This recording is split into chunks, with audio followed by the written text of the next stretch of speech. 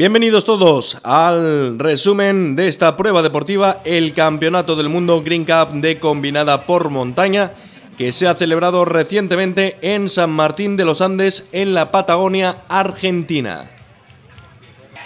Una prueba que acaba de cerrar la Copa Mundial Green Cup y que congregó a más de 200 participantes de todo el mundo, principalmente participantes sudamericanos y participantes europeos. Este campeonato del mundo estaba dividido en tres sectores.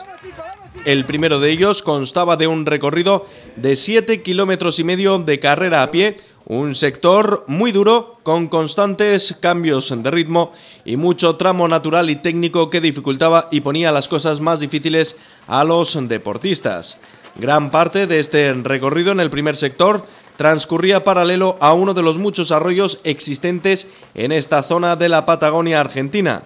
Tanto este como el resto de los sectores está considerado como muy duro por parte de los deportistas, dirigidos por cierto más hacia los deportistas de montaña que hacia los duatletas de carrera. Esto hace que en este circuito brillen más los corredores de montaña, los riders y los especialistas en bicicleta de montaña, quienes están más habituados a este tipo de esfuerzos en estas condiciones.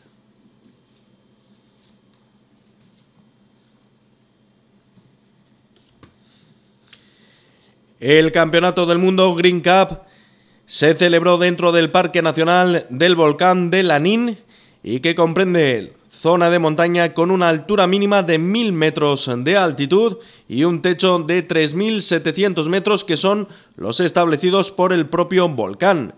Esta es una de las mayores reservas de agua dulce del mundo con inmensos lagos fronterizos entre Chile y Argentina. Y este evento estaba organizado por el comité local, por la empresa Patagonia Eventos y el Regimiento de Caballería de San Martín de las Fuerzas Armadas Argentinas, cuya colaboración fue fundamental en el desarrollo de esta prueba. Y una prueba que estaba apoyada por la Secretaría de Deportes de la Nación y además ostentaba el título de prueba de interés turístico nacional otorgado por la Secretaría de Turismo de Argentina. Hablemos de la climatología que tuvo mucho que decir en el transcurso de este campeonato. La climatología de la zona en estas fechas suele ser muy variable debido a la presencia de las altas cumbres y este año los deportistas europeos tuvieron que padecer las mayores temperaturas recordadas en la zona para esta época del año, llegando incluso a los 30 grados centígrados durante el transcurso de la prueba frente a los 2 grados centígrados aproximadamente que algunos deportistas españoles dejaron al salir hacia la Patagonia. La prueba se desarrolló al inicio del otoño austral, primavera en España, tras un verano muy seco. Este hecho y el tipo de suelo de la prueba provocó que la mayor parte de las pistas, sendas y caminos del recorrido de la prueba fueran como balsas de polvo. Lo vamos a poder apreciar en las imágenes que además de esa gran cantidad de polvo, eso ponía una mayor dificultad para los deportistas. Y hablando de deportistas, la delegación española estaba compuesta por más de una veintena, entre los que se encontraban una selección catalana, una selección balear y el equipo BH Inverse. Antes de iniciarse la prueba, había un claro favorito, era el dorsal número uno, Óscar Galíndez, el ganador de la edición 2006 de este campeonato del mundo. La mala suerte quiso acompañar a Óscar Galíndez desde el primer instante de la prueba, ya en el punto de salida. En el momento de la salida tropezaba, caía al suelo y era pateado por muchos deportistas que en ese momento comenzaban la prueba. Eso le retrasó, aunque no impidió que comenzara la prueba y a lo largo de este primer sector fuera adelantando posiciones, eso sí quedando a una distancia importante de la cabeza. Eso provocó que finalmente y antes de la conclusión de este sector de carrera, antes de la finalización de este primer sector, el claro favorito hasta justo el momento del inicio de la prueba, Oscar Galíndez decidiera abandonar este campeonato del mundo. Ahí veíamos los eh, participantes en este primer sector encontrándose ya con algunas de las primeras dificultades y no las únicas porque el segundo de los sectores, el de bicicleta de montaña, sí que oponía mucha resistencia y era donde claramente podían quedar dilucidados eh, las primeras posiciones, la cabeza de carrera, tanto en categoría masculina como en categoría femenina. Un primer sector de 7 kilómetros y medio, relativamente rápido, con mucha dureza, pero relativamente rápido, donde se podía ir viendo, desde luego, no cómo finalizaría esta prueba, este campeonato del mundo, pero sí quienes iban tirando fuerte después de la caída, después del abandono del claro favorito. Y entre ellos, varios españoles. Vemos la llegada de los primeros participantes a la zona de boxes, en realizar la transición y podemos ir dando ya los eh, primeros tiempos para tener una referencia real de cómo va transcurriendo este campeonato del mundo. Y decía que los españoles tienen mucho que decir en esta prueba en la Patagonia Argentina, puesto que el primero en llegar a la zona de boxes es el eh, español Santiago Arnés con un tiempo de 27 minutos 44 segundos, tiempo empleado para recorrer esos 7 kilómetros y medio que componían el primero de los sectores. A la vez, con el mismo tiempo, Víctor del Corral hacía su llegada a la zona de boxes en segunda posición. La tercera de las posiciones para David Emestrosa a 38 segundos, por lo tanto ya un tiempo, una diferencia no insalvable, pero sí importante.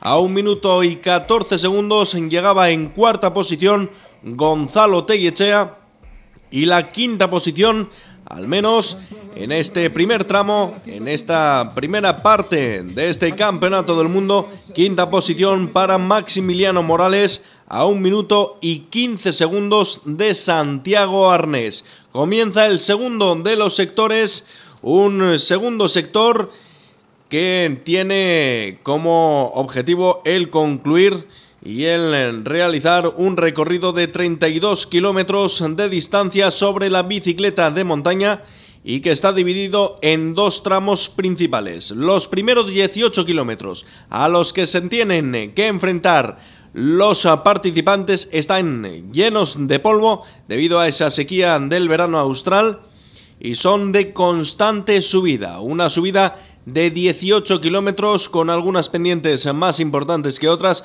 pero son 18 kilómetros de subida llegando a la cota máxima de la prueba que es de 1.630 metros de altitud, durante los cuales los primeros kilómetros transcurren por una carretera nacional de ripio, es decir, de tierra compactada, con una elevación media que es importante hasta llegar a esos 1.630 metros de altitud.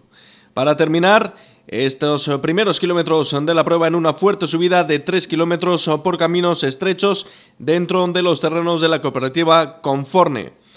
Y a partir de ahí el segundo tramo de este sector de bicicleta de montaña se podría calificar como el más bello de todos los recorridos. Son 14 kilómetros de descenso continuado a través de los bosques, descampados y lagos que apenas dejaban tiempo para la relajación. En definitiva, un recorrido tal y como lo describía un periodista argentino, un recorrido en el que los primeros no podían permitirse el lujo de admirar y donde los últimos tenían la obligación de hacerlo.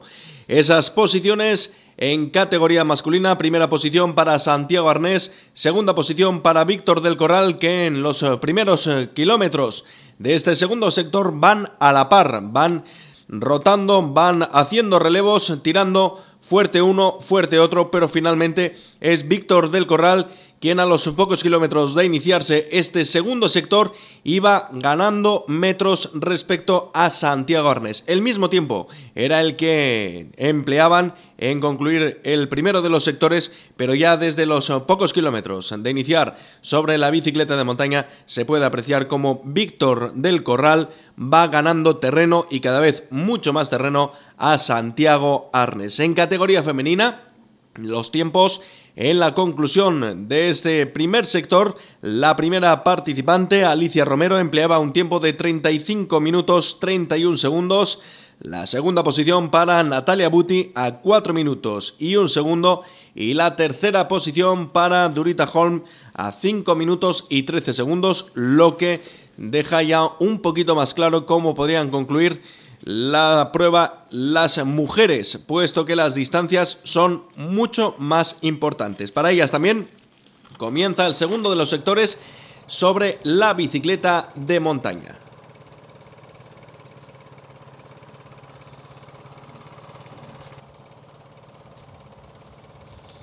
Se ha producido ya en eh, categoría masculina el relevo, el adelanto o la distancia que ha ido ganando Víctor del Corral respecto a Santiago Arnés.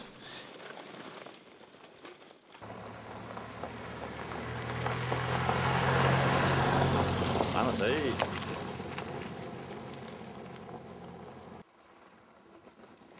Hay que decir de Santiago Arnés que entre su palmarés eh, en la pasada temporada tuvo el subcampeonato de España Green Cup celebrado en Puerto Llano. También ha sido campeón del mundo Green Cup en la Patagonia en el año 2004-2005 en esa temporada.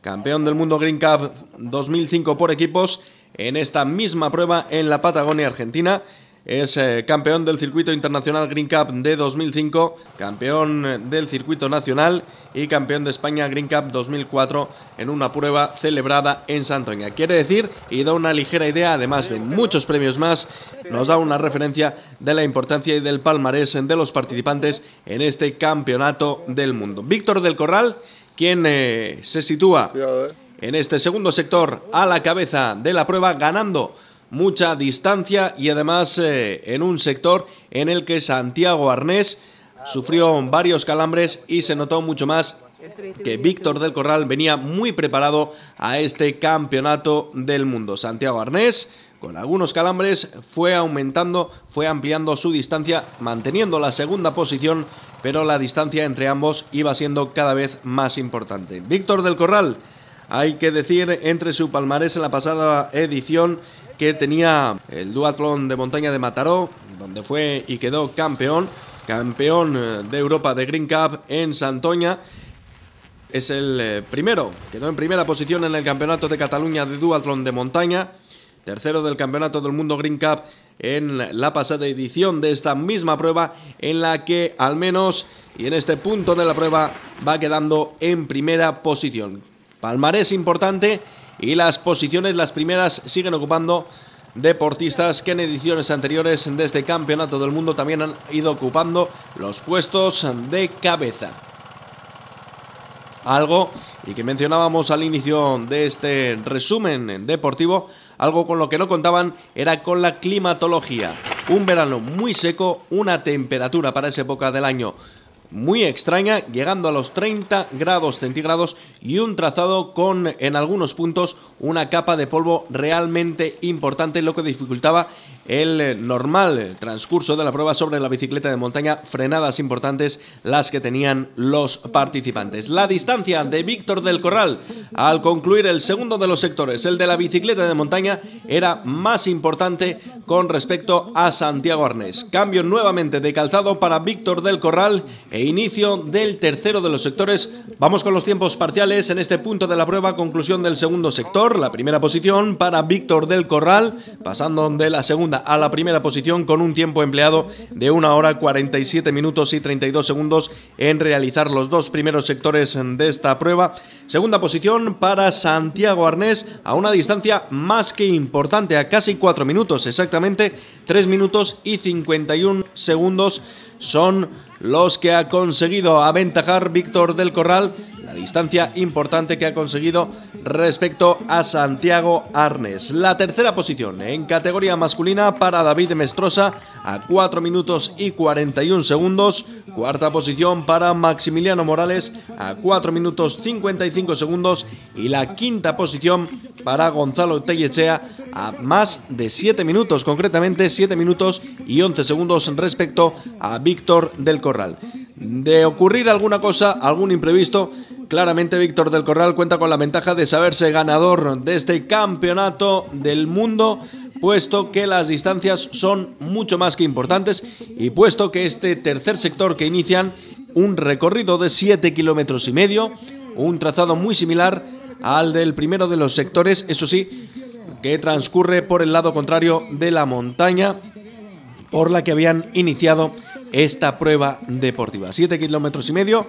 No se podría decir que sea un paseo para Víctor del Corral ni para el resto de los participantes. Mucho polvo y mucha agua. Constantes arroyos los que cruzan parte del sendero y del trazado por donde transcurre este último sector, esos siete kilómetros y medio finales, para la conclusión del Campeonato del Mundo. En cuanto a las mujeres, en cuanto a la categoría femenina, ha habido algún baile, aunque la primera posición sigue estando ocupada por Alicia Romero, quien empleó 2 horas 33 minutos y 48 segundos en concluir los dos primeros sectores. La segunda posición es donde ha habido un cambio pasa a ser ocupada por Durita Holm con una distancia de 6 minutos respecto a Alicia Romero y la tercera posición es para Natalia Buti a 9 minutos y 24 segundos. También parece ser que en categoría femenina los tiempos son insalvables y que probablemente la posición del podio van a quedar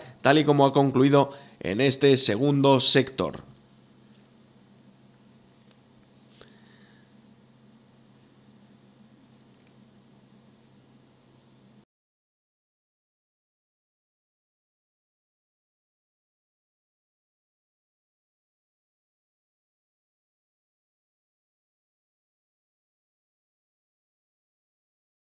Los participantes como Michel Aguinaga, un habitual también en los duathlon de montaña en los campeonatos del mundo, campeonatos de Europa y campeonatos de España, que no ha ocupado una de las primeras posiciones en esta prueba. Resultados importantes también y muy positivos en estos primeros sectores para la participación española, también latinoamericana, pero sobre todo especialmente para la participación española, para el equipo BH Inverse,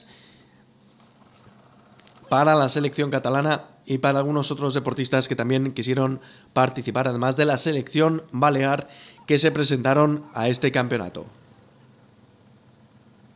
Obstáculos muchos, naturales muchos, Quizás el más predominante era la gran cantidad de polvo que producía frenadas en las ruedas y algunos obstáculos, algunos participantes que preferían evitar en algún momento algunos de los charcos y algunos de los arroyos importantes con un caudal abundante a pesar de la sequía, caudal abundante que se encontraban en el recorrido. Últimos metros, últimos eh, pasos que deben dar los participantes para llegar ya finalmente a la zona de meta. La conclusión del tercer sector, evidentemente, se trata de la llegada a la zona de meta.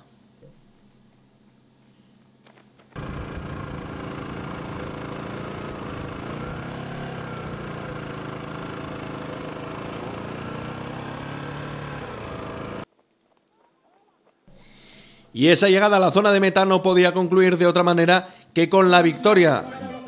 Por lo tanto, con la obtención del campeonato del mundo Green Cup para Víctor del Corral.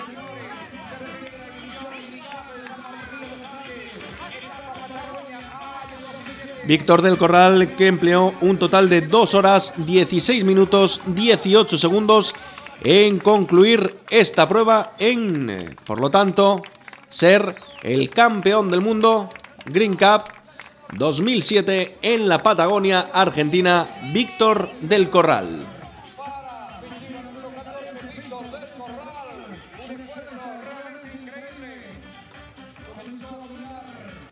¿Cómo estuvo la carrera? Contanos un poco. Bueno, en el primer correr salió Santi Arnés eh, muy fuerte, todo el primer, la primera carrera a pie. Yo sabía que, bueno, que el objetivo también era un poquito seguirle, intentarle aguantar el primer correr, porque sabía yo que en bici pues, me contaba bastante bien. Al salir de la bici vi en la primera subida que, me podía ir, pero bueno, como sabía que había bastante trozo llano en, en, el medio, prefería aguantar ir con él para que nos ayudásemos un poco, y dando relevos para no gastar tanto. Y en el último tramo, la subida a Corfone, pues ahí decidí ya que era el momento de atacar y empecé a, subir un poco el ritmo, vi que me podía ir y bueno, de ahí ya a intentar sacar el máximo y a llegar a meta. ¿Cómo fue el descenso en bicicleta? Porque veíamos que el camino estaba bastante complicado. Pues estaba muy suelto, había mucho polvo y sobre todo en, la- en las curvas así muy cerradas, pues era difícil controlar la bici. ¿Y esperaban venir de España y tener el primero, segundo y tercer lugar? Bueno, hombre, sabía que se podía hacer bien, pero nunca sabe hasta qué punto. Segunda posición para Santiago Arnés, por lo tanto subcampeón del mundo, Green Cup, con un tiempo a una distancia de 4 minutos y 25 segundos respecto a Víctor del Corral, segunda posición, subcampeón, Santiago Arnés. Bueno, el circuito de carrera a pie lo he visto muy duro, eh, lo estuve viendo ayer, entonces he decidido tensar porque yo en carrera a pie estaba bastante más fuerte que, que Víctor, lo llevaba un poco fuerte a ver si llegaba cansado la bicicleta, pero, pero no, he visto que ha llegado demasiado fuerte, venía muy fuerte en bici y cuando hemos llegado al puerto duro se me ha ido como ha querido.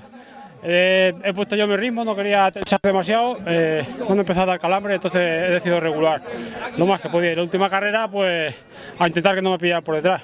¿Mucho calor durante la competencia? Sí, venimos de allí de España de hacer dos grados y a mí me va bien el calor, pero cuando llevo unos cuantos días. Así de, de repente el calor es muy, es muy complicado adaptarse. Entonces, bueno, he terminado bastante contento por eso, por el, por el calor. La tercera posición en categoría masculina para David Emestrosa a una distancia de 4 minutos y 46 segundos respecto a Víctor del Corral. Ya la cuarta posición para Maximiliano Morales a 6 minutos y 15 segundos y la quinta posición para Francesc Fraser a 11 minutos y 28 segundos. Vemos ahí la clasificación general en categoría masculina. Two trailer park girls go round the outside, round the outside, round the outside. En cuanto a las mujeres, victoria de Alicia Romero con un tiempo de 3 horas 9 minutos y 22 segundos, campeona del mundo, Alicia Romero. Bueno, Alicia, primer puesto en la categoría damas, ¿contenta con esta victoria? Sí, muy contenta. ¿Fue dura la carrera? Sí, muy dura, porque eh, bueno, corriendo era con bastantes elevaciones, subidas y bajadas, y luego la bici se ha hecho muy dura porque estaba con mucho polvo y parecía que estabas eh, en una playa y había mucha pendiente, pero bueno, se ha hecho ameno al final. ¿Esperabas este primer puesto? ¿Pensabas que ibas a estar más, más peleada la, la primera ubicación en tu categoría? Bueno, nunca sabes eh, qué puede pasar, ¿no? Porque venía fuerte y eh, en bici puedes tener eh, problemas y- o corriendo y eso nunca sabes hasta, hasta que te ves en carrera. Y luego me he visto fuerte y no he tenido muchos problemas con la bici, entonces bien, contenta. Segunda posición en categoría femenina para Durita Holm a una distancia de 14 minutos y 36 segundos respecto a Alicia Romero. Sí, era dura, pero muy linda. Sobre todo ahí arriba donde está el lago, es muy, muy bonito. Pero a mí me gustan las carreras largas, así que dura, pero esperaba que era dura, así que bien. Bueno, ¿esperabas terminar dentro de las tres primeras? La verdad es que no tenía ni idea, porque cuando viene a un país donde no conoce a nadie y hay muchas chicas de, de- de Chile, de Argentina y no sé, y no sabía cómo era su nivel. Si compites en España o en otro país donde conoce a la gente, sabes más o menos dónde va, entonces no tenía ni idea. Y la tercera posición en categoría femenina para Natalia Buti a 15 minutos y 37 segundos.